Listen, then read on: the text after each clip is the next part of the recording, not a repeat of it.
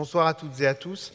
Alors, je suis euh, ravi d'avoir accepté euh, cette généreuse invitation et en, plus euh, pouvoir présenter un, sujet qui m'est cher. Comme tu l'as dit, c'était l'objet de mon, dernier livre dans un cadre aussi magnifique que celui du CUM. C'est un vrai plaisir. Donc merci à toutes et à tous d'être là et j'espère que on va passer effectivement un, bon moment ensemble autour d'une question complexe. Effectivement, il y a plein de mystères dès le titre. C'est volontaire, hein, à la franc-maçonnerie dans l'ombre des Illuminati, parce que vous verrez, c'est ce que je vais essayer de, montrer en étudiant à la fois euh, la franc-maçonnerie par rapport à ceux qui ont vraiment existé. Ce pas les Illuminati, c'est les Illuminaten, parce que c'est un nom allemand. Hein. ils, ont été créés euh, en Allemagne à la fin du XVIIIe siècle. Et ensuite, le mythe Illuminati a totalement recouvert euh, la société qui a vraiment existé à la fin du XVIIIe siècle. Et non seulement le mythe a complètement recouvert l'histoire, mais en plus, euh, il l'obscurcit souvent aux yeux du grand public les rapports entre euh, la franc-maçonnerie et donc un, certain nombre d'ordres secrets, celui des Illuminaten notamment. Hein. on fait souvent la confusion, et vous verrez que c'est une confusion qui date de cette époque-là et qui a été euh, euh, parfois volontairement entretenue hein, au, détriment de la franc-maçonnerie qui en a beaucoup souffert sous la Révolution et au-delà, et ensuite dans toutes les théories complotistes. Mais pour vous montrer que euh, euh, d'emblée, euh, que malgré ce que je vous ai dit, c'est-à-dire qu'aujourd'hui tout le monde entendu parler des Illuminati ou les présente dans des cadres tout à fait différents. Alors je prendrai quelques exemples euh, tout à l'heure. Parmi les jeux euh, vidéo euh, à dimension historique, eh bien, ceux sur les Illuminati ou qui ont rapport avec les Illuminati ont le plus de succès. Peut-être que vous avez vu ou que dans, vos, dans, vos, familles, parce que ça joue sur plusieurs générations, hein, certains d'entre vous ont, vu les films de la franchise Marvel Avengers, hein, puisqu'à l'origine, c'est des bandes dessinées de l'entre-deux-guerres, et puis c'est aujourd'hui ils ont envahi nos, euh, écrans. Et l'exemple qui me paraît euh, flagrant, c'est que l'un des tout derniers, Doctor Strange, c'est sorti quand le, euh, le livre était déjà paru. Euh, eh bien, il est jugé dans l'espace par un tribunal Illuminati. Donc, vous voyez, les Illuminati sont mis absolument euh, à toutes les sauces. Il y a même un film d'animation qui s'appelle Trump versus Illuminati de 2016 où il est dans l'espace. C'est un clone chinois. Alors, ne me demandez pas pourquoi dans le film euh, Trump est un clone chinois quand on pense aux relations qu'il a eues avec la Chine pendant son premier mandat, et il lutte contre les nouveaux aliens, et les nouveaux aliens, ce sont les Illuminati. Bref, les Illuminati sont mis absolument à toutes les sauces et euh, euh, sont omniprésents aujourd'hui, notamment via les réseaux sociaux et Internet de manière générale.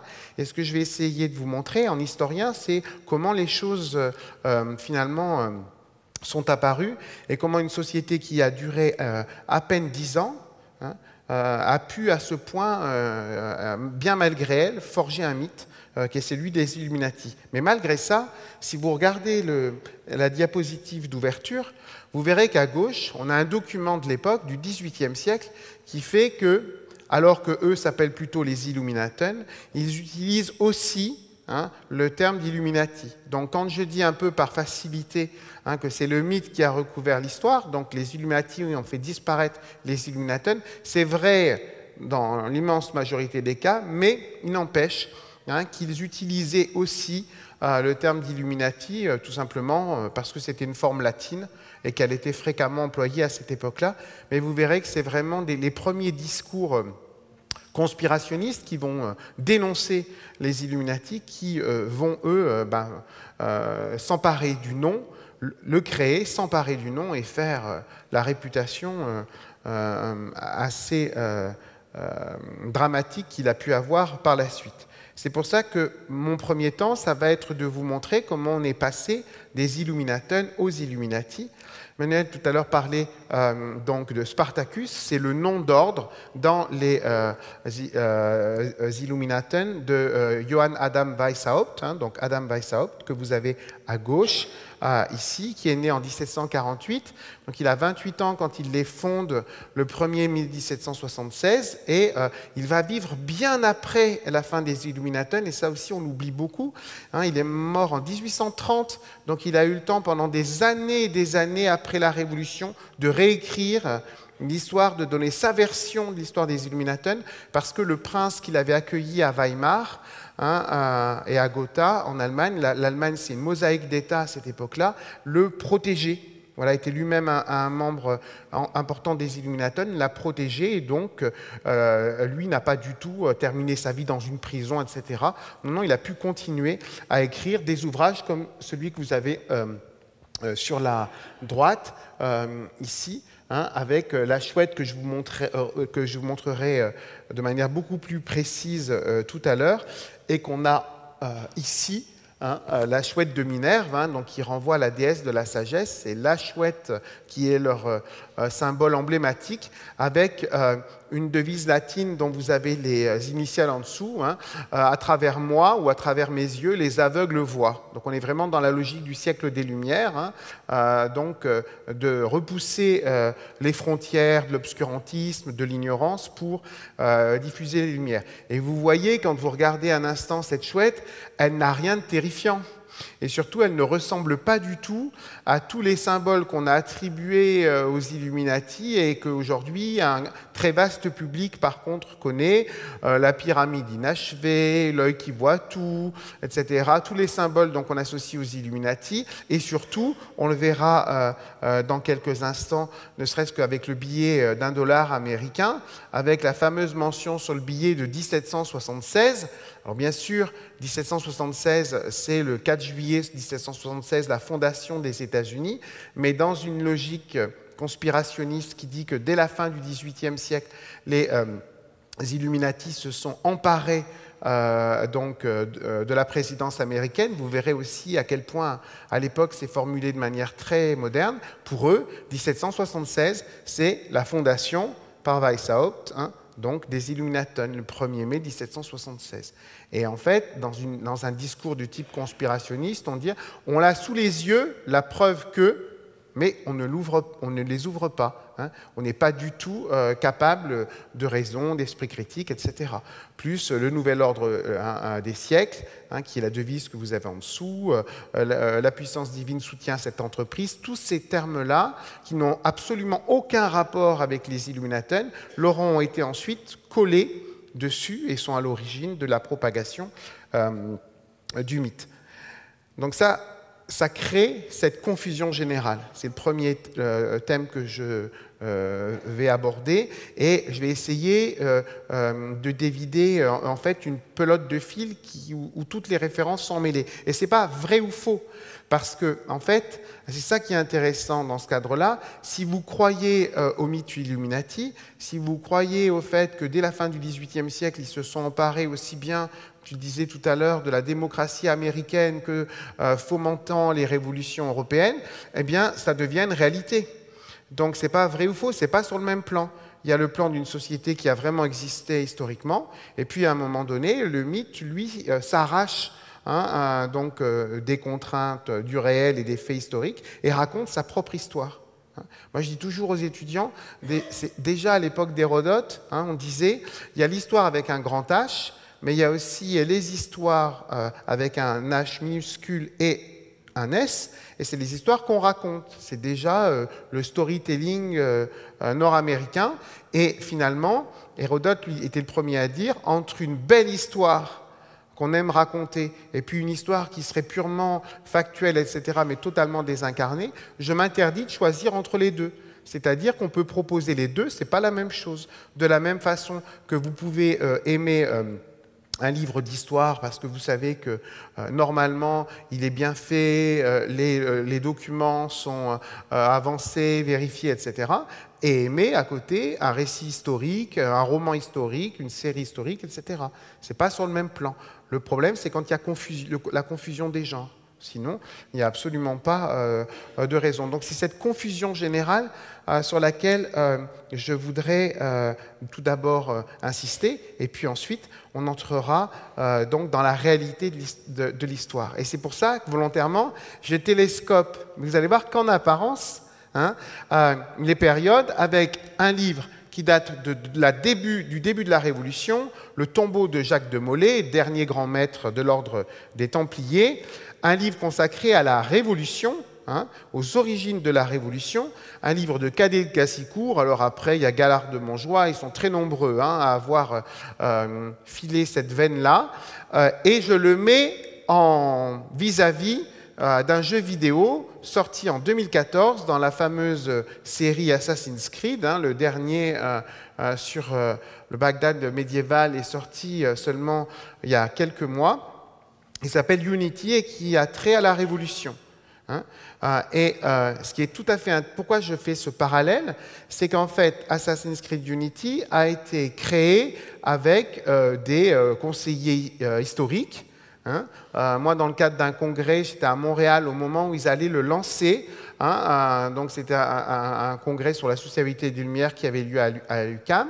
Et euh, l'un des deux euh, conseillers historiques, Laurent Turcot, un historien canadien, avait présenté, québécois, avait présenté à ce moment-là hein, le travail que l'équipe euh, donc d'Assassin's Creed avait fait. Et si vous avez l'occasion d'en voir certains, euh, la, qualité euh, non seulement de la réalisation, mais des références historiques est absolument remarquable. C'est-à-dire que les décors sont très bien faits. ils avaient même payé des centaines d'étudiants pour faire des recherches dans les archives et reconstituer les intérieurs, la décoration, etc. Mais quand on ouvre le jeu, il commence par une cinématique donc c'est un jeu dédié à la Révolution française, là, hein. une cinématique où on voit exactement le livre de gauche. C'est-à-dire au mot près, on a Jacques de Molay sur le bûcher, la scène bien connue, hein, depuis Les Rois maudits, etc., et de très nombreuses adaptations, sans compter euh, des références purement historiques, qui vous, hein, aux gémonies, qui maudit le pape et le roi de France.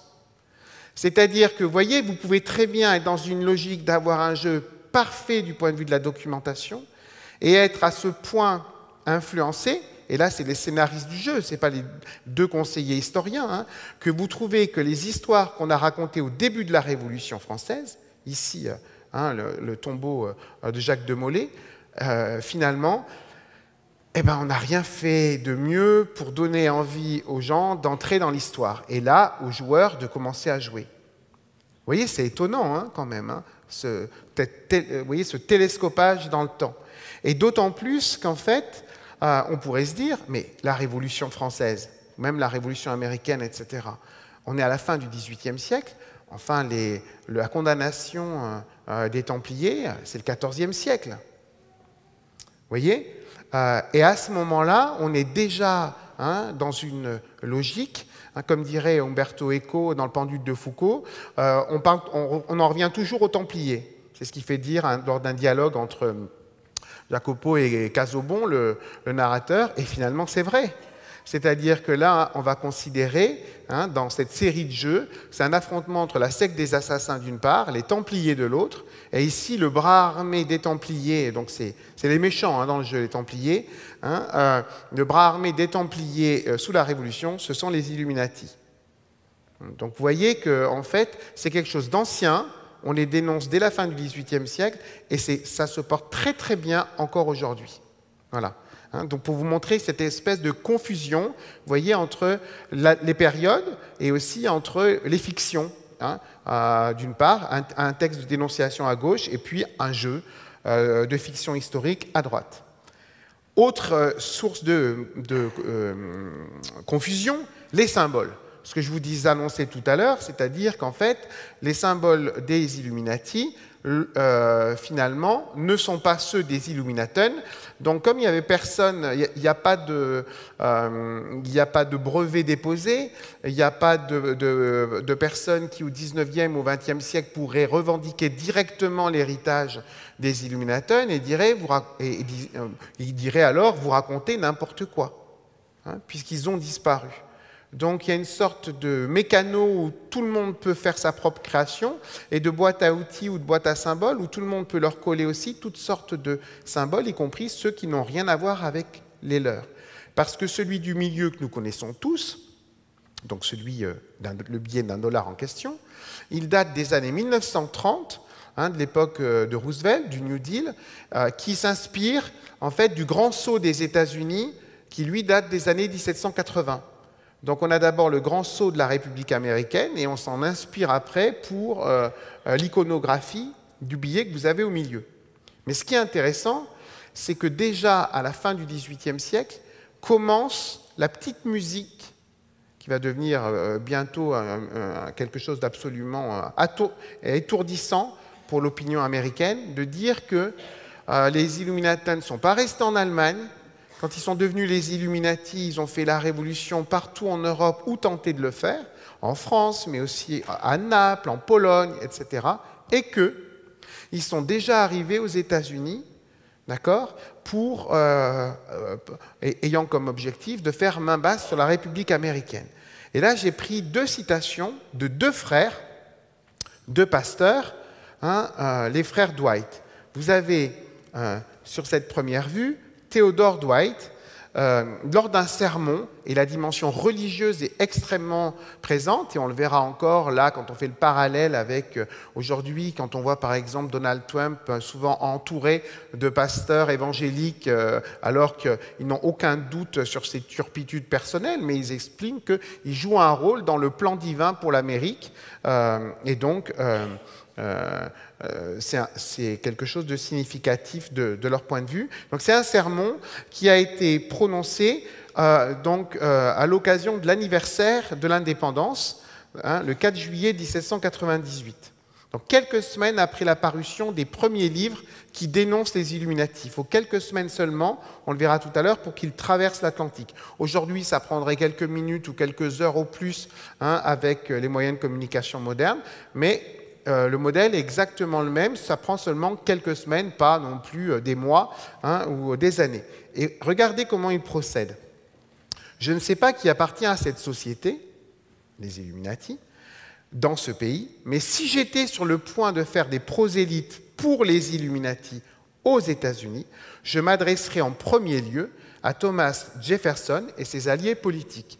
Thomas Jefferson, qu'on connaît comme un des euh, euh, signataires de la Déclaration d'indépendance de 1976, président des États-Unis par la suite, à l'époque, hein, euh, c'est surtout celui qui a remplacé Benjamin Franklin comme ambassadeur des États-Unis auprès de la France. Euh, quand Benjamin Franklin y, euh, était, les États-Unis n'étaient pas encore indépendants. Là, les États-Unis sont indépendants, la France est entrée en révolution et Thomas Jefferson est leur représentant. Et on l'accuse aux États-Unis d'être beaucoup trop proche des révolutionnaires français et euh, d'accepter beaucoup trop facilement un certain nombre d'égarements, voire pour certains critiques américains, de crimes de la Révolution française. Donc ça, c'est la la première attaque. Vous voyez, c'est euh, je ne sais pas, je ne les connais pas, mais si je devais les trouver, j'irais voir du côté de Jefferson, parce qu'il est candidat à l'élection américaine, l'élection présidentielle de 1800. Et de l'autre côté, vous avez l'autre frère Dwight, pas n'importe qui, il est président de l'université Yale, et il réunit aussi bien donc l'une des plus anciennes et célèbres universités américaines, il réunit tous les professeurs, tous les étudiants de l'université pour, là aussi, et en même temps qu'il est président de l'université, il est pasteur, pour un grand discours où voilà ce qu'il dit.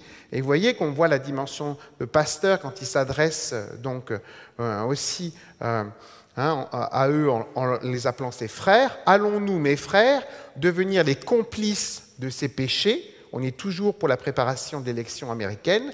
Allons-nous les faire entrer dans notre gouvernement, dans nos écoles, dans nos familles?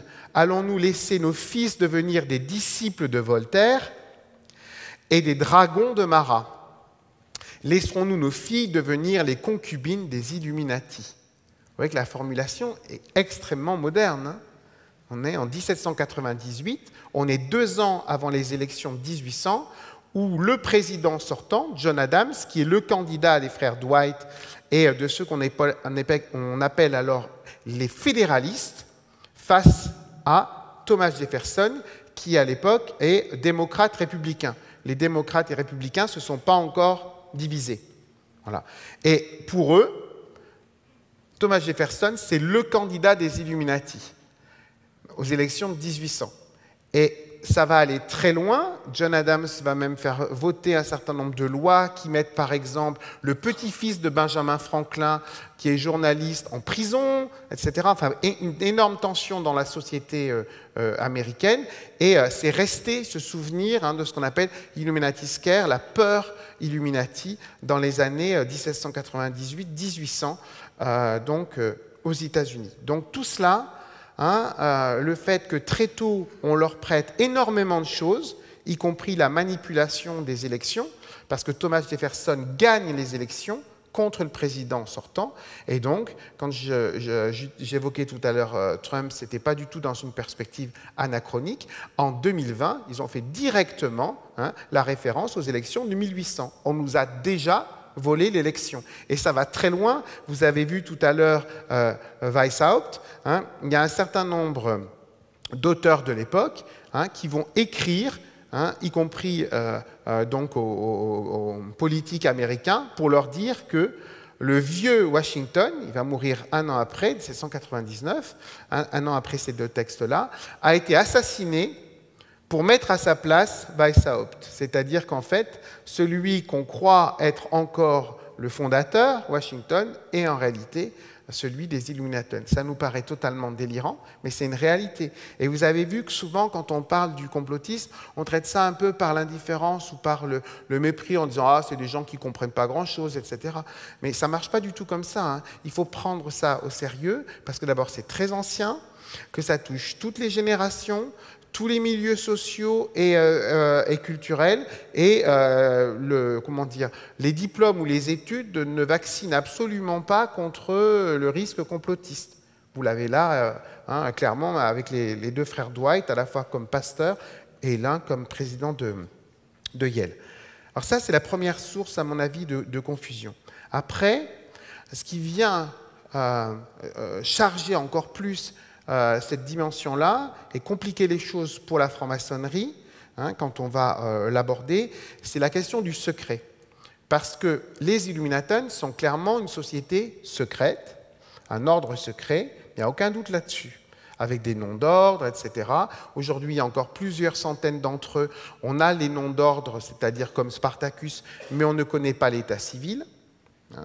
Euh, certains, parfois, on a attribué une appartenance euh, aux Illuminati. Aujourd'hui, on a pu trouver des documents qui les disculpaient, entre guillemets, donc on les a sortis des listes, etc. La franc-maçonnerie n'est absolument pas, hier comme aujourd'hui, hein, euh, une société secrète. C'est une société à secret, un A accent grave, avec les secrets de l'initiation partagés, avec, pour le XVIIIe siècle, un certain nombre une fascination pour les cultes à mystère de l'Antiquité, etc.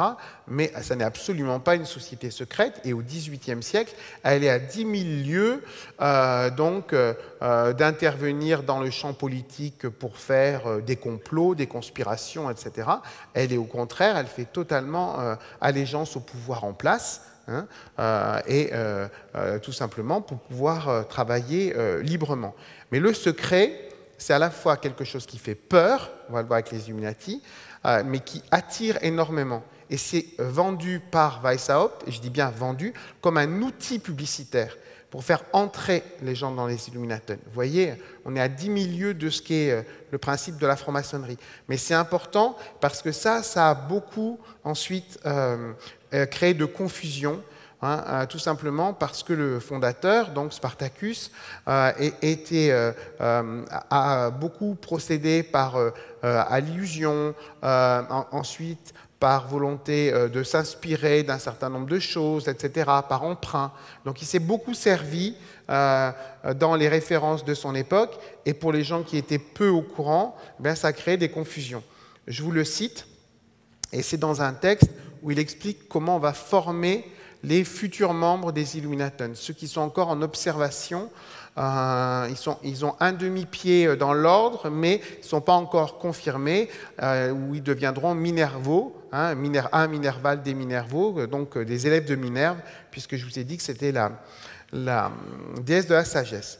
On cite comme exemple l'ordre des jésuites, et vous allez voir que ça va créer encore plus de confusion parce qu'on va mettre les jésuites par-dessus, celui des francs-maçons, les sociétés secrètes de l'Antiquité, donc comme exemple hein, de ceux, et regardez ce qu'on va dire après, donc pour attirer les gens, et on va dire, on affirme que tous les événements importants de l'histoire du monde sont amenés par sans cause et ressorts cachés, parmi lesquels les sociétés secrètes jouent le rôle le plus important.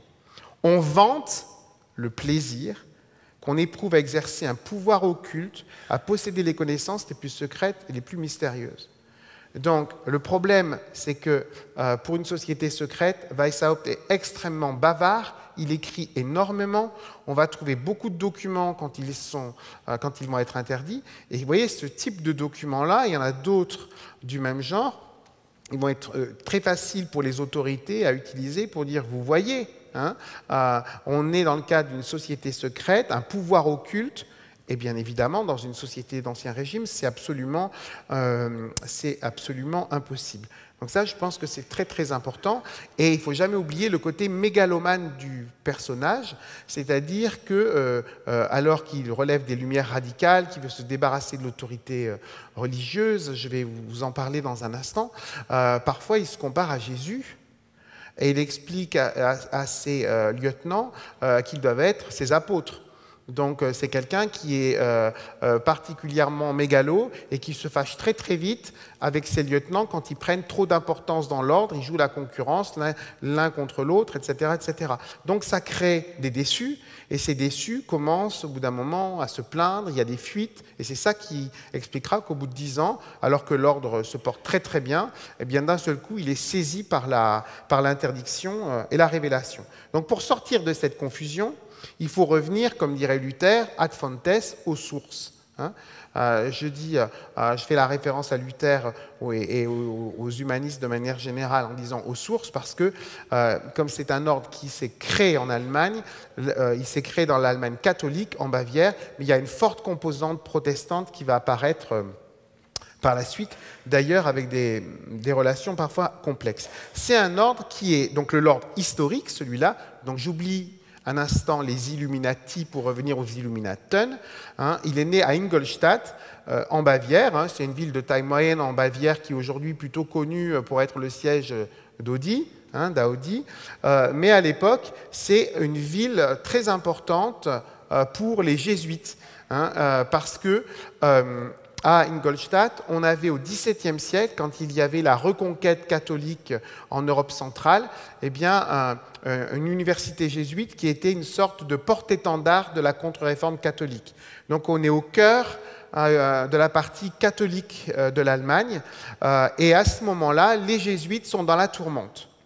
Pas seulement en Allemagne, de manière générale, ça a commencé au Portugal, on les a accusés d'avoir voulu tuer le roi, en France d'être responsable de l'attentat d'Amiens contre euh, euh, Louis XV, euh, et ensuite, hein, donc là on est dans les années 1750, hein, le, début des critiques contre les jésuites, ça enfle dans les années 60. En France, ils sont liquidés en deux temps, en tant qu'ordre, hein, en tant qu'institution, 1764-67, et on leur dit, imaginez quand même qu'ils contrôlaient plus de 100 collèges en France, un collège, c'est intermédiaire entre le collège et le lycée. On leur a laissé 8 jours, au mieux 15, pour disparaître.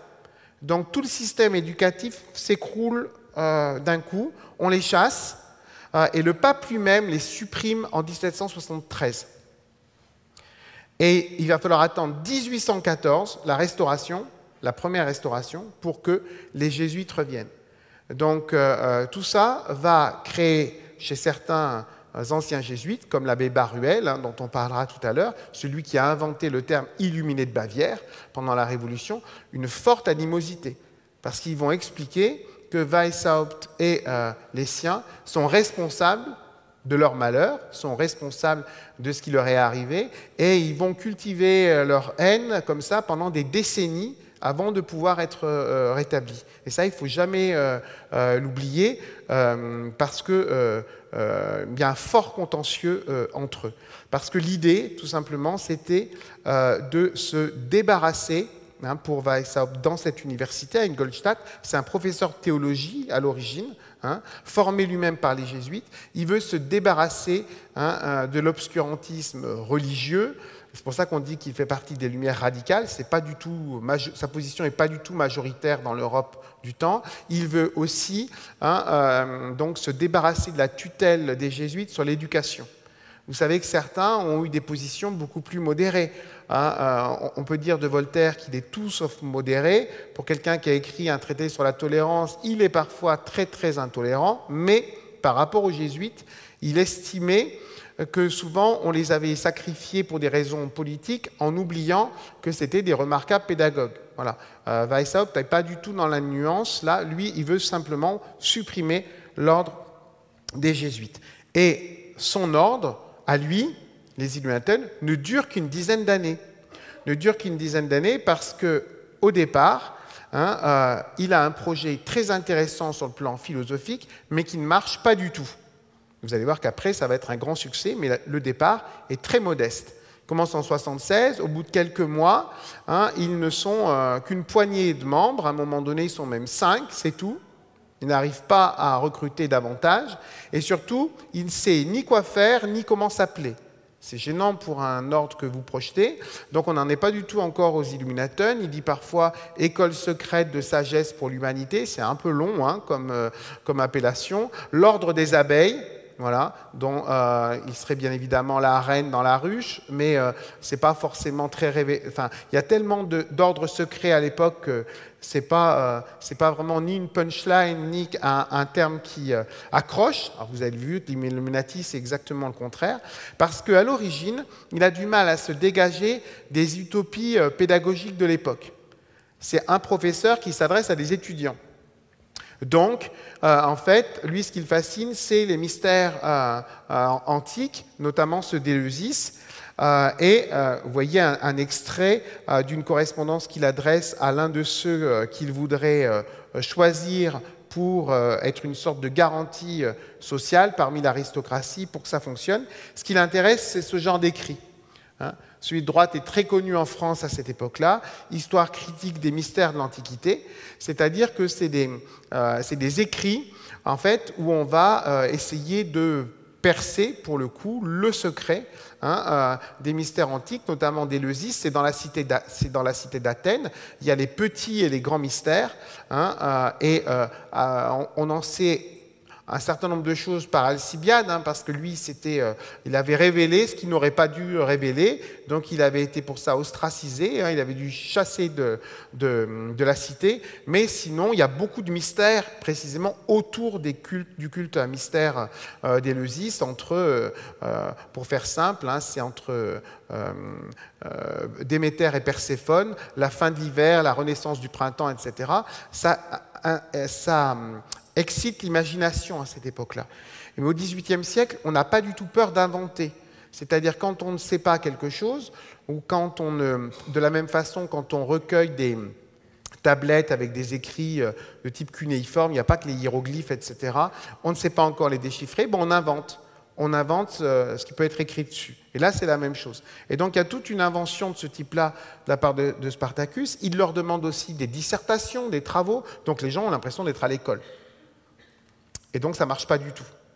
Hein. Et le changement, c'est justement quand ils vont connecter, bien malgré elle, les Illuminatons avec la franc-maçonnerie. J'y viens dans cinq secondes. Mais pour vous montrer que même après ce décollage, hein, même après ce décollage, la marque d'Eleusis va encore être très forte. Ingolstadt, le cœur de l'ordre, deviendra l'aréopage. Euh, la Bavière devient la Grèce. Euh, Munich prend le nom d'Athènes, etc. Hein. la référence grecque est extrêmement euh, forte. Et là encore, hein, on disait, euh, la question n'est pas de savoir si c'est vrai ou faux, c'est pas sur le même plan. Regardez à quel point l'imaginaire grec a inspiré les Européens, soit à la fin du XVIIIe siècle, soit au début du XIXe siècle, au point que quand la Grèce prendra son indépendance face à l'Empire ottoman, on ira chercher en Bavière le premier roi hein, de la Grèce nouvelle. Voilà, donc euh, euh, à un moment donné, cette fascination pour la Grèce, elle joue vraiment son rôle sous l'égide de Minerve. Je voulais rappeler, rappeler, là. Alors, ce qui va fondamentalement changer les choses, c'est l'arrivée hein, euh, d'un nouveau lieutenant comme les autres, qui ne va pas rester très longtemps, hein, de Weishaupt, à partir de en gros 1778-1779, il commence à être actif. Il s'appelle Knigge, c'est un Allemand qui est connu à l'époque surtout pour euh, un manuel de savoir-vivre, etc. Mais c'est un maçon très important dans la stricte observance templière, hein, donc dans la maçonnerie templière euh, allemande. Euh, et Knigge constate que ça marche pas du tout, l'ordre de Weishaupt, et il lui dit, il se trouve que à ce moment-là, alors que la maçonnerie a un développement euh, exceptionnel au XVIIIe siècle, il y a une sorte de crise de croissance, parce qu'elle a grandi trop vite en Allemagne, de la stricte observance templière, donc de la maçonnerie templière, qui se divise, qui se déchire, à la fois pour la référence templière, euh, des, querelles de personnes, de chefs, etc. Et Knigge va lui dire, là vous avez des candidats à l'initiation chez les Illuminaten qui n'attendent que d'être guidés. Ils n'appartiennent pas à une société secrète, je vous l'ai dit, mais ils sont déjà habitués au secret des euh, tenues, des assemblées. Ah, ils savent aussi qu'il y a des, euh, ce que peut être le cloisonnement par les grades, etc., etc. Et surtout, ce sont plus de jeunes étudiants, ce sont des gens qui sont un peu plus âgés, Hein, et qui ont souvent, alors même si au XVIIIe siècle la franc-maçonnerie recrute déjà très largement euh, socialement, mais euh, pour certains euh, qui ont déjà des postes importants dans l'appareil d'État, certains sont des princes, puisque l'Allemagne c'est une mosaïque d'États, il y a plus 300 États à hein, cette époque-là dans le Saint-Empire romain germanique. Bref, tout le travail de présélection a été fait. Et là, il propose quelque chose de très moderne en termes d'organisation, de très cyniques aussi. C'est pour ça que je dis à l'ombre d'eux, ils se sont vraiment fait vampiriser. Il lui propose deux choses. Il propose d'ajouter à la première classe des Illuminaten, celle où il y avait les Minervaux, etc., où il y avait tout l'apprentissage de ce que devrait être cette utopie pédagogique, il lui propose d'ajouter une deuxième classe qu'on appellerait tout simplement en allemand Freimaurerei, franc-maçonnerie, donc vous voyez, on ne se cache même pas, on dit franc-maçonnerie, et qu'on diviserait entre les grades bleus, apprenti, compagnon, maître, et ensuite une franc-maçonnerie écossaise. C'est le terme hein, qui est employé.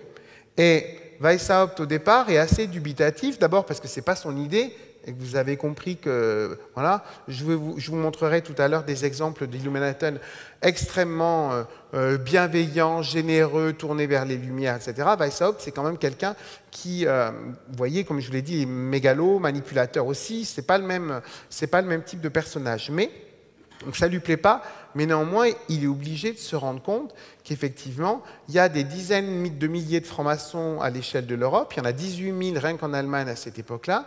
Euh, donc il y a un vrai vivier. Alors, comme je vous l'ai dit, lui, son ordre, au bout de six mois, ils étaient cinq. On va monter à plus de 2000 identifiés là. Vous voyez, en, en trois ans, dans les trois ans qui viennent. Donc il y a vraiment un décollage absolument euh, stupéfiant. Et il y a un autre aspect qui est intéressant aussi, c'est que Weishaupt est, devenu lui-même franc-maçon en 1776, l'année où il a créé son ordre. Mais il est très peu présent et il est très peu motivé, à la différence de Knick, qui lui est vraiment un maçon assidu. Et donc, il reprend, alors je suis désolé, je l'ai gardé exprès tel quel pour montrer que ce n'était pas une invention de ma part, donc c'est en allemand, mais à gauche, mais je vous commente. Hein. C'est-à-dire que dans sa correspondance, il a vraiment, vous voyez les, classes. La première classe, donc qu'on appelle la pépinière, on voit bien qu'on est euh, Pflanzschule, on est vraiment dans la logique d'une utopie pédagogique. Hein. La pépinière qui va permettre de prendre les jeunes étudiants devenus minervaux et de les faire entrer dans l'ordre, voyez, comme on avait les novices chez les jésuites. Et la deuxième classe, franc-maçonnerie symbolique et écossaise. Et à chaque fois, il fait des parallèles avec ses propres grades. Vous voyez, le novice écossais, par exemple, il est équivalent à l'illuminatus major. Et quand on regarde la franc-maçonnerie symbolique, on retrouve bien l'apprenti, le compagnon et le maître. Et ensuite, il y a une troisième classe, hein, qui est vraiment celle qui est au sommet de cet ordre très hiérarchisé, très fermé. Hein. Euh, cette troisième euh, classe, qui est la classe des mystères, c'est là où il va revisiter à sa façon Éleusis avec les petits mystères et les grands mystères, exactement comme à Éleusis. Et regardez ce qu'il a écrit donc avec mage, roi, presbytère, donc prêtre, prince. Vous comprenez bien que là, les autorités, euh, puisque là, lui, il parle de pouvoir occulte, c'est une société secrète, etc. Quand elles vont découvrir, elles ne vont pas aimer. Qui êtes-vous pour imaginer que dans votre ordre, euh, qui se veut pourtant débarrasser, euh, vous voyez, donc l'éducation, etc., et la société de la tutelle religieuse, on crée des grades de prince, de prêtre, etc., etc., de mage, voilà. Mais surtout, il a écrit en allemand Nornisch gemacht, pas encore fait. Alors, je vous explique. Ça veut dire que l'ordre décolle tellement vite, là, depuis la révolution introduite par Knigge, que Knigge lui dit, maintenant, il faut exactement comme pour la maçonnerie du XVIIIe siècle, faire quoi? Des, des catéchismes, des cahiers de grades, avec des rituels, des symboles, etc. Et il n'y a que lui qui peut le faire puisqu'il y a quelqu'un qui est euh, chargé euh, de la dimension euh, opérationnelle de l'ordre, c'est Knigge, mais c'est Spartacus qui doit concevoir ça. Et en fait, ça va tellement vite qu'il a fait l'arborescence de son ordre, mais il n'a pas eu le temps d'écrire les cahiers de grade, euh, euh, euh, tous les symboles qu'on va mobiliser au moment des réceptions, des, ce qu'on appellerait chez les francs-maçons du 18e les élévations de salaire, hein, c'est-à-dire la montée d'un grade à un autre. Et donc on voit que c'est un ordre qui monte très très vite, mais qui a du mal à se structurer parce que voilà, il est dépassé par son succès. Et à droite, je vous ai mis hein, les identifications qu'on a pu faire alors pas sur tous, parce que regardez en bas, vous avez plus de 400 membres dans la classe, n'est pas connu. Mais si vous regardez la deuxième, il y a 630 membres. Donc c'est de très loin la classe la plus nombreuse, celle des francs-maçons. Et donc vous comprenez, c'est là il y a à l'ombre d'eux, hein, parce que c'est très ambigu. Certains savent, mais c'est une toute petite minorité, qui sont à la fois d'origine franc-maçon et qui ont ils ont été sélectionnés pour entrer dans une classe qui s'appelle franc-maçonnerie, mais dans un ordre totalement différent. D'accord? Qui n'a pas du tout le même projet, etc. Mais c'est une infime minorité. Et Knigge fait encore beaucoup plus euh, euh, machiavélique, si vous voulez, hein, ou cynique. Il crée de fausses loges maçonniques. C'est-à-dire qu'en Allemagne, on va créer, puis après il y en aura à, Naples, il y aura même une tentative à Paris, un peu différente, mais à Paris. Euh, en fait, il va créer une, organisation. Hein, euh, dans les Illuminateurs, on parle des églises minervales. Donc, il va créer, il s'appelle loge. Elles ont tous les signes apparents d'une loge maçonnique, elles sont structurées comme une loge maçonnique, on, élit les officiers de la même façon, etc., etc. Mais elles sont directement reliées à l'aréopage, donc la direction secrète de l'ordre. Hein. Elle a aussi, ça plairait euh, sûrement euh, euh, à un psychiatre ou un psychologue, lui qui voulait se débarrasser de la tutelle jésuite, il devient général de son ordre, exactement comme on a un général à la tête des jésuites. Hein. Donc c'est assez amusant comme façon de faire. Mais si vous voulez, il y a des dizaines de loges comme ça en Allemagne qui, en fait, sont en apparence des loges maçonniques, mais en réalité sont des loges avec des gros guillemets, des Illuminaten. Et donc là, les membres qui en font partie ignorent tout à fait eux, pour eux, ils, entrent dans une loge maçonnique et en fait, ils sont entrés dans l'ordre des Illuminaten. Mais comme vous êtes dans, dans, un, dans une société d'ancien régime où euh, euh, qui que vous soyez dans la société, vous n'avez pas le droit de faire politique, vous n'avez pas le droit de parler du prince, des questions de religion, etc. Hein, et que vous êtes relativement libre dès lors que vous acceptez de ne pas parler de ces problèmes-là, quand les listes vont apparaître, les ennuis vont arriver pour vous très très vite. Voyez? Donc, euh, ils ont vraiment siphonné les effectifs de la franc-maçonnerie hein, dans, ce but-là. Alors, il y a une proportion euh, relativement réduite de francs-maçons qui ont accepté, parce qu'ils étaient adeptes aussi des lumières radicales, etc. Mais dans l'immense majorité, ils ont été vraiment saisis d'effroi quand ils ont découvert ce qui s'est passé. Alors, il y a un cas différent, il y a, un cas euh, tout à fait original, c'est celui de Vienne. Alors, Vienne, c'est la capitale de l'Empire, hein, du Saint-Empire romain germanique à cette époque-là. L'empereur, c'est Joseph II, le frère aîné euh, de Marie-Antoinette. C'est un homme qui est tourné vers les Lumières, mais qui est assez euh, radical et maladroit dans les réformes qu'il fait. Hein. Mais en tout cas, il est totalement euh, convaincu par l'esprit des Lumières. Et en fait, celui qui joue un rôle majeur dans la diffusion des Illuminaten à Vienne. C'est Ignaz von Born, B-O-R-N. Vous avez son ex-libris à droite. C'est le meilleur ami de Mozart. Donc Mozart lui-même n'est pas membre des Illuminaten. C'est deux loges voisines, deux loges sœurs qui se réunissent souvent dans le même temple. Et Born est sa grande figure. Hein, euh, et euh, Born est à la fois un savant, hein, c'est un naturaliste, un minéralogiste, quelqu'un très euh, connu à cette époque-là, de très chaleureux. C'est tout le contraire de de Weishaupt. C'est pour ça que beaucoup de gens, quand ils viennent le voir à Vienne, parce qu'il est le, garde des collections euh, d'abord de Marie-Thérèse puis de Joseph II, euh, c'est quelqu'un qui crée très vite la sympathie. Voilà. Euh, et beaucoup de gens sont entrés ensuite dans l'ordre des Illuminaten parce qu'ils avaient rencontré Born. Hein. Euh, Mozart lui dédie plusieurs de ses œuvres, etc. C'est vraiment la, grande figure intellectuelle euh, de l'Autriche. On a une vision souvent très franco-française de l'Europe des Lumières, où on cite que des auteurs français. Là, vous avez une des très grandes figures de l'époque. Et pour vous montrer à quel point lui, euh, donc, il est franc-maçon, il adhère aux Illuminaten, lui-même était un ancien élève des ordres religieux. Là, c'est une adhésion tout à fait sincère, assumé. Lui fait partie de ceux euh, à qui on n'a pas du tout caché euh, ce qui s'était euh, construit, mais il est très sincèrement attaché à la dimension développement des Lumières, le, culte dans le progrès, dans la science, etc.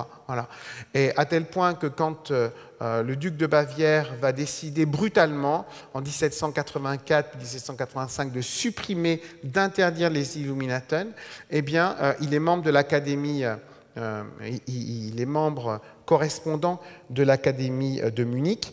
Euh, Born, il va renvoyer euh, son diplôme en disant Ce que vous avez fait est honteux, je ne veux plus être membre de l'Académie si vous osez faire ce genre de choses. Donc il fait partie de ceux, il ne faudrait pas imaginer qu'ils ne sont que manipulateurs. Un certain nombre de dirigeants, oui, mais des gens comme Born et des centaines d'autres sont tout à fait euh, motivés, sincères, etc. C'est-à-dire qu'ils estiment que si les lumières se diffusent simplement à leur rythme lentement, ça n'ira pas assez vite. Il faut accélérer le processus et que pour ça, un ordre secret peut avoir son utilité. Et il y a ceux qui acceptent le principe de l'ordre secret ou pas. Donc les lumières, elles sont euh, très euh, importantes et on le voit dans le cas de Born, là, il y a vraiment une sincérité. Et vous voyez qu'il y a deux registres totalement différents. Parce que face à ça, vous avez quelqu'un comme Weishaupt, c'est pour ça que j'ai mis le, le, texte, qui lui n'a pas du tout changé de point de vue. Hein. Il est dans quoi? Tout à l'heure, je vous ai dit, le secret, c'est publicitaire. Là, mais sais-tu aussi ce que signifie dominer, diriger, gouverner au sein d'une société secrète? Non pas sur une foule inférieure ou plus distinguée, et après il lui dit prévenir la corruption générale qui divise, etc. etc. Voilà le chef-d'œuvre de la politique unie à la morale. Certes, il y a la morale, mais vous voyez quand même qu'il euh, y a la volonté euh, là de contrôler, de prendre le pouvoir. C'est tout à fait différent des lumières généreuses et bienveillantes que diffuse quelqu'un comme Born ou d'autres. On n'est pas du tout dans le même registre. Et donc ça, c'est aussi tout à fait euh, c'est tout à fait intéressant. Mais voyez ça, c'est dans le rituel d'admission qu'il prépare pour la dernière classe, ceux qui sont tout en haut, hein, ceux qui sont juste avant l'aréopage et ceux qui doivent savoir quel est le but profond hein, euh, donc, euh, des Illuminaten. Et c'est d'autant plus intéressant, comme je vous ai dit en introduction, lui ne meurt pas du tout pendant la Révolution. Il vit jusqu'en 1830 et après, celui qui l'intéresse beaucoup, c'est Pythagore on est parti d'Éleusis, passe à Pythagore, et il écrit un livre qui s'appelle Pythagore, hein, ou l'art de gouverner. Parce qu'à l'époque, il y a toujours l'image que les pythagoriciens étaient à la fois organisés euh, comme une société secrète, mais auraient euh, développé hein, donc un certain nombre euh, de travaux philosophiques autour du secret comme art de gouvernement. Vous voyez, il ne s'en cache pas, il écrit un livre qui s'appelle Pythagore ou l'art de gouverner. Alors, le problème, c'est que ça s'est développé tellement vite que les autorités interviennent. Et c'est pour ça que c'est mon troisième temps, le dernier, ce sera juste ma conclusion, euh, après l'attaque, qu'est-ce qu'on fait? Qu'est-ce qu'on fait quand on est un ordre secret et que du jour au lendemain, euh, vos noms sont dévoilés? Et ça, c'est pas du tout, c'est là aussi un phénomène très moderne, c'est pas du tout ce qu'on faisait sous l'Ancien Régime. Sous l'Ancien Régime, quand on a un scandale, on l'étouffe, on exile, etc. Ben, on liquide très peu de monde en réalité. Hein. Euh, euh, euh, surtout quand on est quelqu'un de puissant, etc. Alors là, c'est exactement le contraire qui va se passer. Que décide le pouvoir bavarois au départ C'est de, faire savoir hein, qu'il y a un ordre secret et de publier les noms, de faire des descentes de police, vous l'avez à droite, pour bien que ça touche tout le monde, on le traduit de l'allemand au français, parce que c'est la langue de communication de l'époque. Et vous voyez, ou sinon je vous le lis, lors de la visite domiciliaire, c'est au milieu de la page, faite au château de Sandersdorf, résidence du baron Bassus, celui qui essayait de, hein, recruter euh, Weishaupt au début de l'ordre. Et donc tous les documents qui, qui, sont retrouvés là, je vous ai dit, sont extrêmement bavards pour un ordre secret, vont être édités, publiés, les listes identifiées, etc. etc. Et donc, vous avez des gens qui vont devoir être, qui vont être chassés du, pouvoir.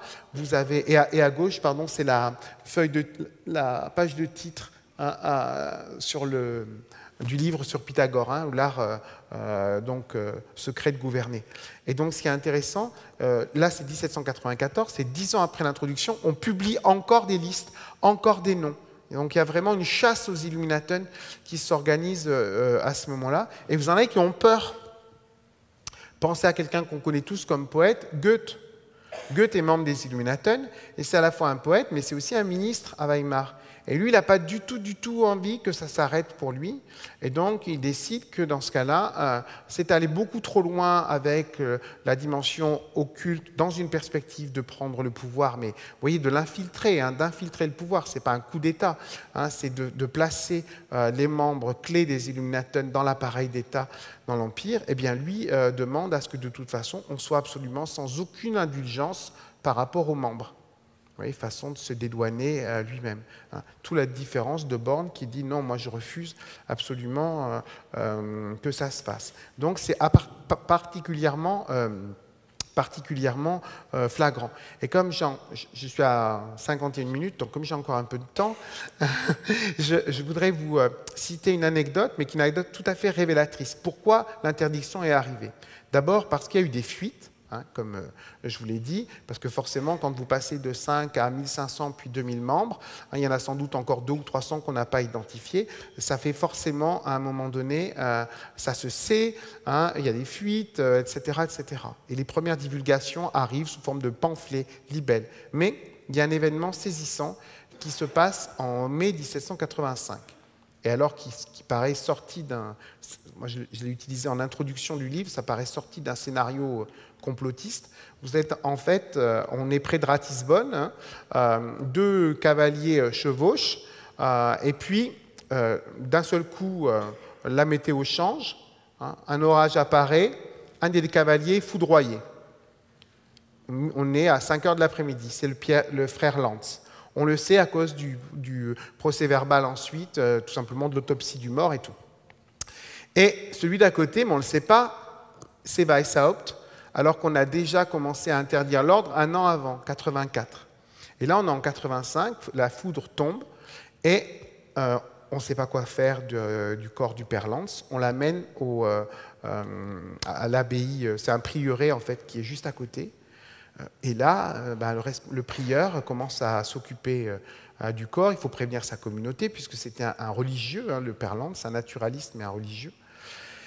Et euh, vous voyez, on peut être religieux et membre des Illuminatons, ça fait partie aussi ça des surprises du XVIIIe siècle. Hein. Euh, après tout, au XVIIIe siècle, il y a des loges maçonniques qui se tiennent dans des abbayes bénédictines, hein, en Normandie ou en Lorraine, alors que le pape a excommunié à ce moment-là les francs-maçons deux fois, pour des raisons avant tout politiques. Et eh bien, ce qui se passe, c'est la chose suivante, c'est qu'en fait, on, on se rend compte que dedans, il y avait une lettre de mission. Il était missionné par Weishaupt pour faire une enquête sur les endroits où on pourrait reconstituer facilement des loges des Illuminatons sans prendre trop de risques avec les premières interdictions. Vous imaginez, mission secrète, vous partez, vous avez euh, une lettre longue comme le bras où on vous dit tout ce que vous devez faire, etc. Là, euh, la prudence n'a pas été mise. Et en fait, bon, Weishaupt lui a rien eu, hein, que le père Lantz qui est mort. Et après, non seulement ils y ont vu euh, un signe divin, Hein, vous imaginez, en plein après-midi, 17h, la foudre tombe, paf, le type, et on révèle euh, donc euh, ici aux autorités et au public l'existence de cet ordre secret. Donc je vous dis, ça, peut paraître sorti d'un mauvais scénario euh, de film complotiste, mais c'est absolument authentique parce qu'il y a les témoins qui ont signé, on a redonné les, ces effets personnels à la communauté du Père etc. Mais on s'est empressé Hein, de faire des copies euh, de la lettre et de l'envoyer à tous les représentants des autorités. Hop, c'est parti, là pour euh, l'interdiction. Donc c'est à la fois frappant et aussi révélateur de, ce type de situation, l'absence de prudence totale de gens qui pourtant parlent du secret, euh, secret en permanence. Et ça attire les intérêts les convoitises. Ici, vous avez un fameux livre, Mirabeau, c'est quand la grande figure du début de la Révolution. 89-91, hein, il meurt en 91. Mirabeau, il a quand même été panthéonisé. Puis après, on s'est rendu compte qu'il écrivait secrètement au, roi de France et à Marie-Antoinette, hein, euh, euh, qu'il voulait contre argent euh, proposer son aide, et on l'a dépanthéonisé. Hein. donc vous voyez, quand on parle toujours de la panthéonisation, pendant la Révolution, on dépanthéonise aussi un certain nombre de gens, dont Mirabeau, qui fait cette histoire secrète de la cour de Berlin, et c'est là qu'il rencontre les, Illuminaten, parce qu'en Allemagne, il n'y a pas que la Bavière, il y a aussi euh, donc euh, dans l'Allemagne protestante, dans l'Allemagne luthérienne, hein, aussi l'ordre s'est implanté. Et là, c'est un ordre beaucoup plus tourné vers l'utilisation de la librairie, ce qu'on appelle la librairie à l'époque, c'est l'édition, la presse, etc., pour diffuser les, idées des Illuminateurs et convaincre la population. Donc vous voyez, ce n'est pas le même registre, là, ce n'est pas recruter des gens qui comptent, c'est plutôt diffuser par le, biais des médias de cette époque-là, hein, celui qui le fait, c'est Friedrich Nicolai, vraiment les idées des Illuminateurs.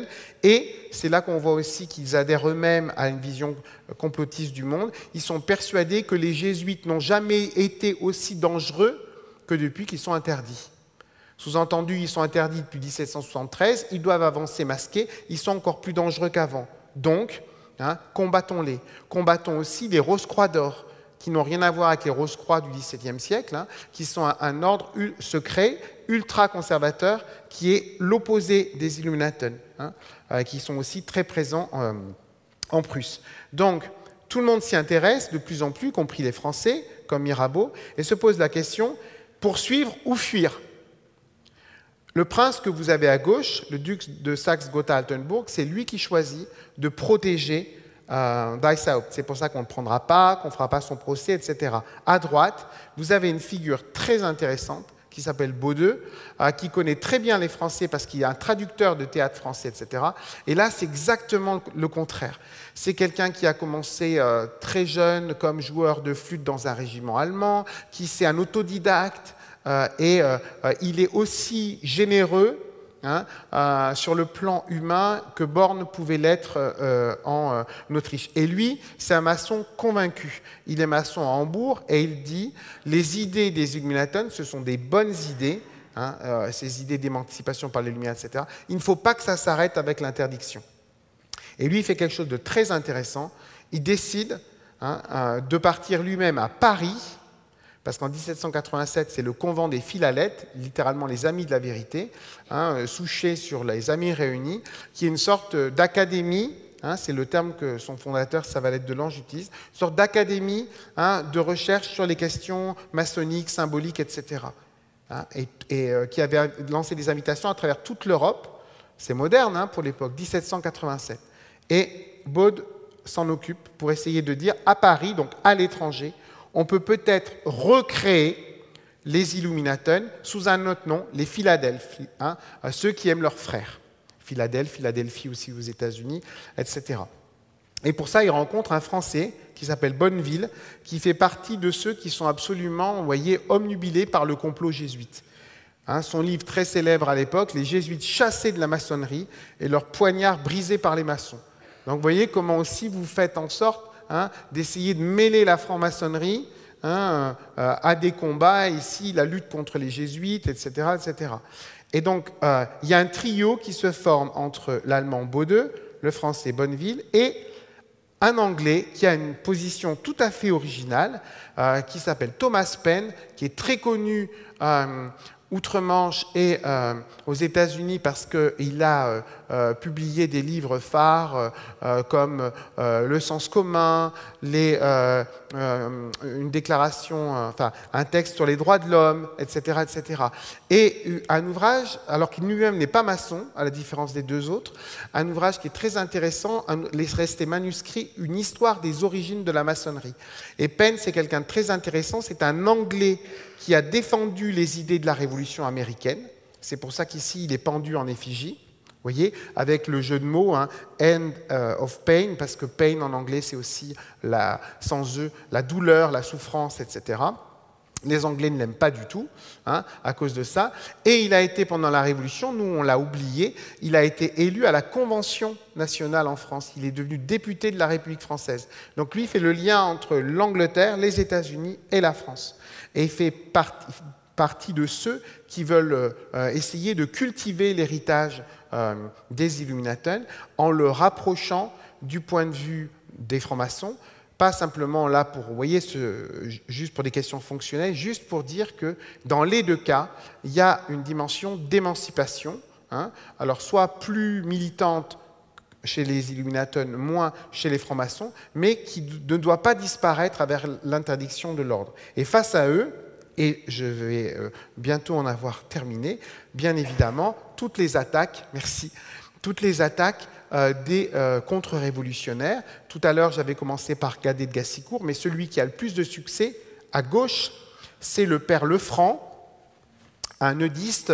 donc, de Rouen, de Normandie, qui, lui, donc écrit hein, en 1791, et puis il y a plusieurs éditions après, mais en 1791, Le voile levé pour les curieux, hein, ou Le secret de la Révolution, révélé à l'aide de la franc-maçonnerie. Hein. Donc vous voyez comment là le glissement s'est fait. On parlait des Illuminatons tout à l'heure. Désormais, là, c'est l'attention est portée sur la franc-maçonnerie parce que à la fin du XVIIIe siècle, en France, c'est par exemple 40 à 50 000 francs-maçons. Tout à l'heure, je vous parlais de 2 à 3 000. Là, rien que pour la France, c'est 40 à 50 000 à la fin du XVIIIe siècle. Ça veut dire que rapporté à la population d'aujourd'hui, c'est exactement le même ratio euh, donc, euh, euh, par rapport à une situation actuelle où il n'y a pas d'interdiction, etc. Au XVIIIe siècle, en France, la maçonnerie n'est plus interdite depuis les années 1740, mais elle est seulement tolérée. Donc c'est important qu'il y ait tant d'écart avec ça. Et à droite, celui qui va faire la postérité des Illuminati, puisqu'il crée le terme, vous avez vu dans l'édition, hein, tout à l'heure je vous l'ai montré manuscrit, c'est un naturaliste écossais, John Robison, c'est le concurrent de l'abbé Baruel, Proofs of a Conspiracy, preuve d'une conspiration portée par, etc., etc. Et pour vous montrer à quel point c'est important, imaginez quand même que euh, l'ouvrage paraît en 1797. Baruel, c'est l'été 97, automne 97, c'est euh, Robison eh bien, il faut imaginer qu'on s'en saisit à la Chambre des communes à Londres pour passer deux lois, hein, contre les sociétés secrètes. On dit que c'est des lois contre les serments secrets. 1797, 1799, on suspend l'habeas corpus et le Bill of Rights, tout simplement pour euh, permettre eh, eh bien, des mesures coercitives euh, contre ceux qui euh, euh, serait suspecté hein, de servir euh, les Illuminati. Et comme c'est l'époque des révolutions, la hantise des Anglais, le débarquement français hein, euh, en Irlande pour soutenir les républicains irlandais. Voilà, le débarquement qui aura lieu en 98 mais ne va pas marcher. Donc, vous voyez, à tel point, c'est important, c'est un livre de quelqu'un qui est un, savant, c'est un biologiste, on dirait aujourd'hui, Robinson. Ce n'est pas du tout son domaine. Hein, l'atmosphère est telle que Hein, euh, la, euh, Chambre des communes s'en empare et demande donc à ce qu'on fasse voter deux lois, 97 puis 99. Et ça va beaucoup plus loin que ça, et, et ça sera ma conclusion sur cet aspect-là. Imaginez qu'ensuite, au nom du serment secret, on va en Angleterre, hein, on ne parle pas de la France, là, etc., on va en Angleterre, mêler la franc-maçonnerie à ça, en se divisant au sein même du cabinet du gouvernement britannique en disant ah, est-ce que le serment maçonnique est un serment secret? S'il est un serment secret, il passe sous le coup de la nouvelle loi. Et pourtant, vous savez que déjà au XVIIIe siècle, tous les membres dirigeants de la Grande Loge sont apparentés soit à la meilleure aristocratie anglaise, soit avec la famille royale elle-même, etc. Donc les deux grands maîtres, des anciens et des modernes, vont voir Pitt, le Premier ministre, en disant Mais c'est absolument pas possible ça. Vous ne pouvez pas considérer que nous tombons sous le coup de la loi, puisque euh, nous appartenons à l'establishment au vrai sens du terme, comme l'Église d'Angleterre et l'Église établie, etc. Et Pitt est assez euh, ouvert, mais il leur dit Néanmoins, les loges maçonniques devront hein, euh, déclarer chaque année au juge de paix du lieu le lieu où ils se réunissent et donner la liste de leurs membres. Vous voyez, quand on oppose aussi radicalement la France et l'Angleterre, ça va s'appliquer en Angleterre jusqu'en 1967, ça, jusqu'à la grande réforme donc, des cadres juridiques en Angleterre. Et peut-être que vous vous souvenez qu'au moment du, euh, euh, cabinet euh, néo-travailliste de Tony Blair, Hein, Jack Straw, qui était ministre de l'Intérieur, il a été aussi ministre des Affaires étrangères, il était Home Secretary, au moment où il y a eu une affaire en Angleterre qui mettait en cause un certain nombre de policiers et de juges francs-maçons. Eh bien, Jack Straw, ministre de Tony Blair, dit il faut ressusciter, c'est l'époque du Patriot Act aux États-Unis, etc. Il faut ressusciter ces vieilles lois pour demander aux francs-maçons hein, donc, qui sont leurs membres, où ils se réunissent, etc. etc. Je parle là du début des années 2000. Bon, après, il reconnaîtra que, etc., il avait exagéré, mais peu importe, ça s'est fait, et ça a été discuté à la Chambre des communes. Donc, vous voyez que quand je parlais de confusion, ça peut vous euh, euh, suivre très très longtemps parce qu'on confond société à secret et société secrète. Et euh, ça, c'est quelque chose de caractéristique. Et juste pour terminer là-dessus, ça c'était un autre texte, mais était trop petit, pour dire et maintenant, qu'est-ce qu'on fait? Eh bien, il y a encore plein d'archives à trouver, il y a encore plein de documents, parce que beaucoup de documents étaient partis euh, en Allemagne pardon, orientale et ont été récupérés par l'armée rouge à la fin de la Seconde Guerre mondiale parce que les nazis les avaient volés. On pense, nous, à ceux volés en France, mais il y en a aussi qui ont été volés euh, en Allemagne, etc. Et donc, on les a euh, amenés là-bas où l'armée rouge les a récupérés. Beaucoup de choses sont revenues au début des années 2000. Et il y a, par exemple, pour Baudeux, dont je parlais tout à l'heure, celui qui va les réimplanter, tenter de les réimplanter en France sous le nom de Philadelphie, là, hein, j'ai d'autres documents, ça je suis désolé, c'est encore plus clair, mais c'est pour vous montrer, vous voyez, c'est en français, parce que Baud l'a écrit en français, premier cahier, école secrète pour les maîtres maçons. Donc lui veut faire une vraie mais sincère synthèse entre les lumières radicales des Illuminateurs, devenus les Philadelphes, et puis la franc-maçonnerie. On est, il va mourir en 1793, on est au moment du convent des Philalètes de 1787. On est juste avant la Révolution. D'accord? Et ce qui est très intéressant dans ce cadre-là, c'est qu'on appelle ça la caisse suédoise, parce qu'elle a atterri par la suite les aléas de l'histoire en Suède. Et aujourd'hui, ces documents sont seulement en train euh, de revenir. C'est pour ça que, par exemple, moi, quand j'ai fait la première édition du livre ou quand euh, il est reparu après en poche, il y a des auteurs ou des, euh, des collectionneurs qui m'ont dit, moi, j'ai vu un certain nombre de documents issus de la caisse suédoise et que j'avais pour, le, pour la nouvelle édition et pas pour la première. Parce qu'en fait, c'est une histoire encore en train de s'écrire. Il, il y a des archives qui ressortent. Vous avez vu que pour une société secrète, c'est... Et alors, je livre à votre curiosité, et ça sera la fin de mon propos, voyez, euh, un des témoignages de Baud parce que, que j'ai utilisé euh, donc, euh, pour ce travail, parce qu'en fait, Baud tient son journal à Paris. Quand il est à Paris en 1787, il, il dit même ce qu'il mange au restaurant, etc., ce qu'il va voir au, théâtre. Il recopie énormément de manuscrits dans la bibliothèque de Savalette de Lange. Il y a plein de documents aussi maçonniques qu'on a à la Bibliothèque nationale de France à Paris qui viennent de Baud parce qu'il amène des manuscrits aussi.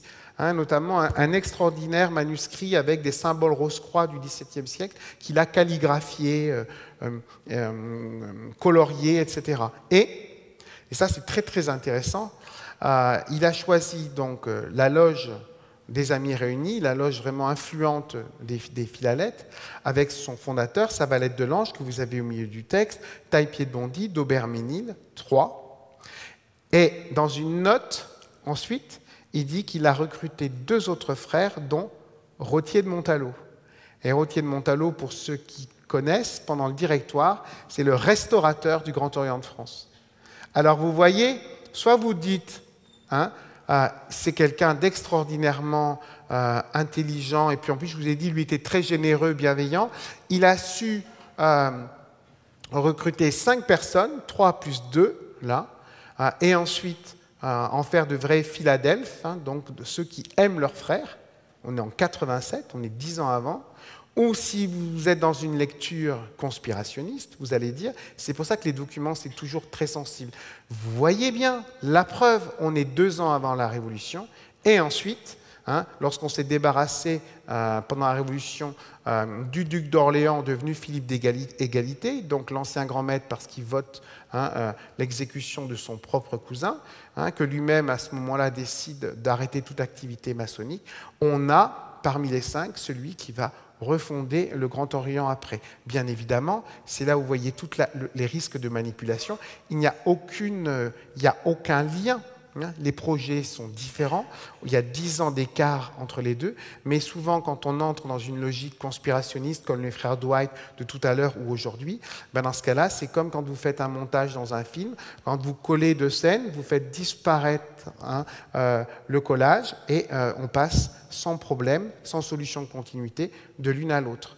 Voilà. Donc il faut vraiment être très prudent, mais vous avez vu que c'est d'une richesse euh, assez...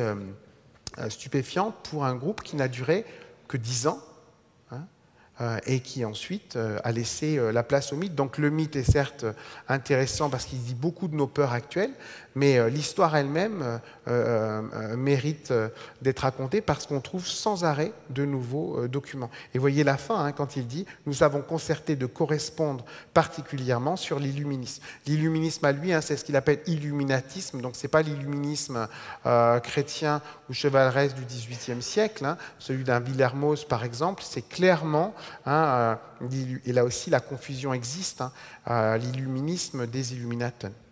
Merci pour votre attention.